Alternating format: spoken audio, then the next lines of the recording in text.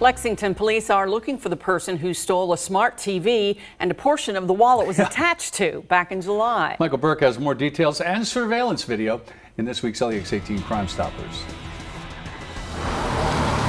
Someone stole a television set from a home and then some. His smart TV and the mount had actually been completely taken off the wall. Then a sale of the stolen property is made. After the theft, we have a female white that's seen on camera at GameStop and she walks in with this same television and she's trying to get money for that. Which she did, but she may not be guilty of anything. She's not presumed guilty.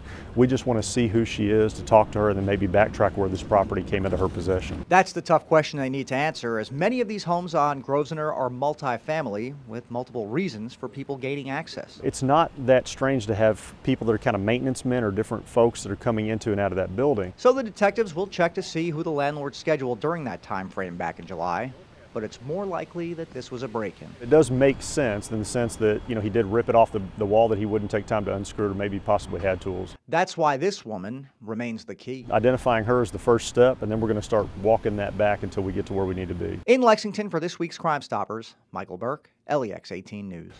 Well, remember, if your information leads to an arrest, you could get a cash reward from Bluegrass Crime Stoppers. Just call 859 253 2020 or text your information to crimes. Put LEX PD in the message along with your anonymous tip.